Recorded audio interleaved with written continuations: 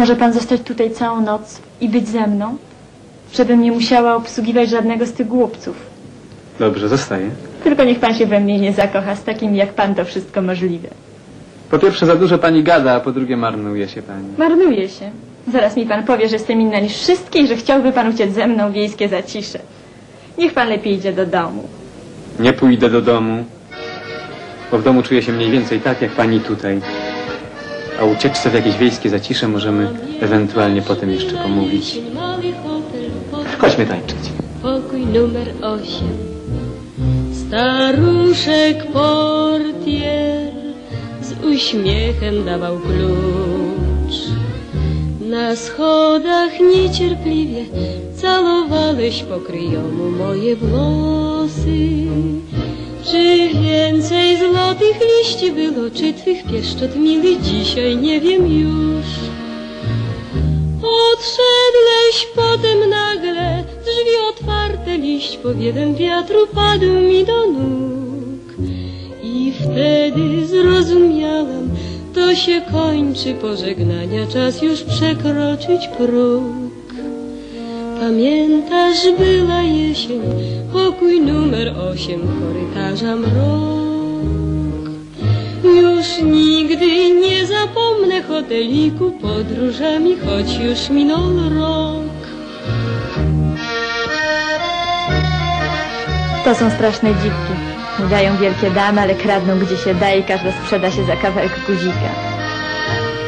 Ja niedługo będę taka sama.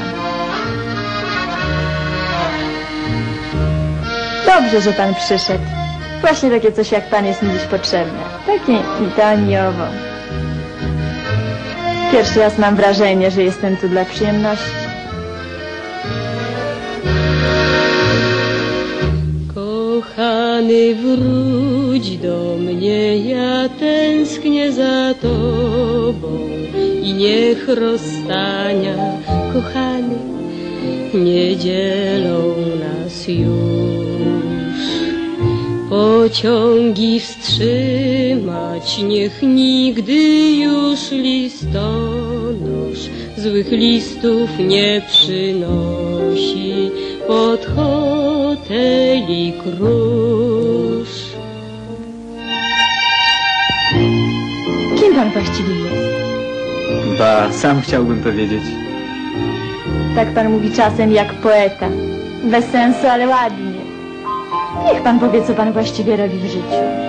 Szukam pozytywnych wartości. Co to znaczy? Nic nie znaczy, tak sobie powiedziałem. No to co to za sens tak sobie mówić? Przecież jesteśmy tu dla przyjemności. Prawda.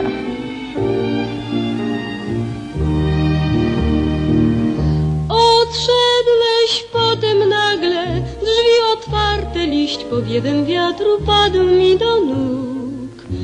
I wtedy zrozumiałam, to się kończy pożegnania, czas już przekroczyć próg.